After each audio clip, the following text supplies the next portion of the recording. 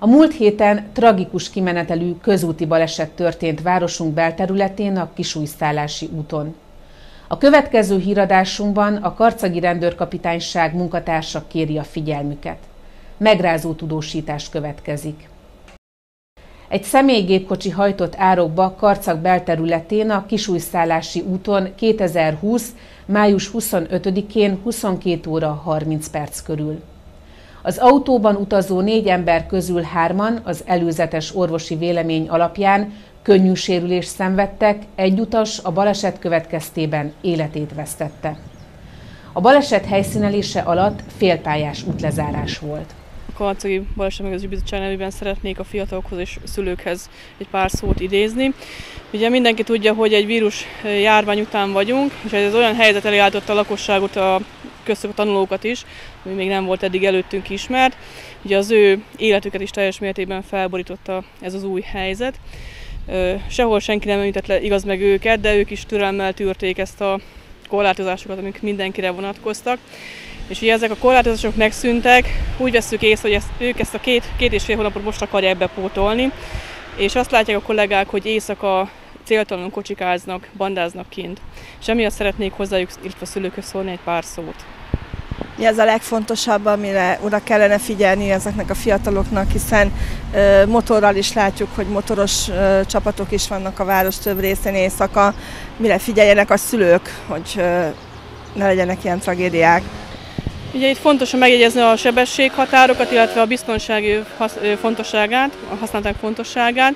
Ugye a sebességhatárt a KRESZ megemlíti, de az nem azt jelenti, hogy annyival kell közlekednünk, amennyit ugye megenged. Ugye úgy ö, nevesíti a KRESZ, hogy megengedett legnagyobb sebesség.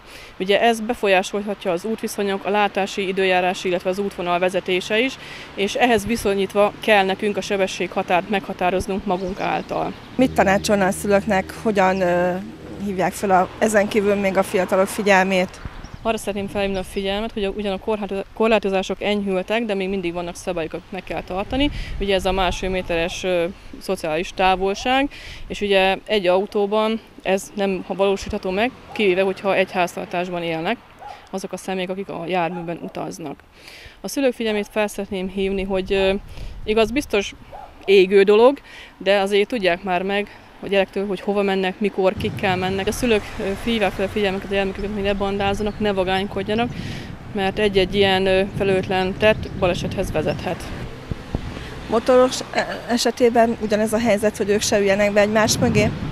Így van, ott is megvannak a szabályok, hogy egy motoron, illetve ha olyan műszaki feltételekkel rendelkezik a motor, illetve úgy van levizsgáztatva, akkor nyilván ülhetnek egymás mellett, de itt is figyelni kell a felelősségre.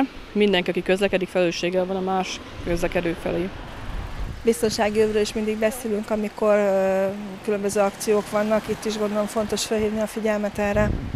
Igen, mindenképp szeretném felhívni a figyelmet arra, hogy a biztonsági öv használata életet menthet, és nem elég, hogy bekapcsoljuk a biztonsági övet, azt rendeltetésszerűen kell bekapcsolni a melkas előtt átvezetve.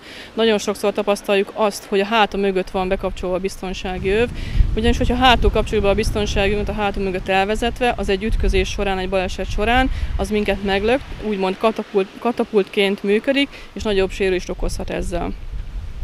És mi az, amit még szeretne a fiatalok felé intézni? Hát igen, ennek az ügynek az apropóján szeretném elmondani, hogy mindenki közlekedjen felelősséggel, mind saját maga, mind más társai, akiket visz autóval, vagy a motorral, bármivel kerékpárral szállít, felelősségteljesen kell közlekedni, ugyanis egy véletlenül nem szándékosan okozott baleset is mérhetetlen fájdalmat okozhat a rokonságnak, barátoknak, osztálytársaknak.